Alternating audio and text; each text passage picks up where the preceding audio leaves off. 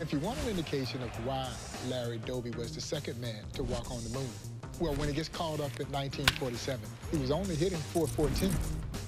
Over a decade-long major league career, nine-time All-Star, the first African-American to lead either league in home runs in 1952.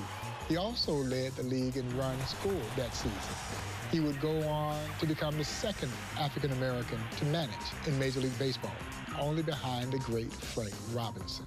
He would become the first to win both a Negro Leagues World Series and a Major League World Series on his way into the National Baseball Hall of Fame.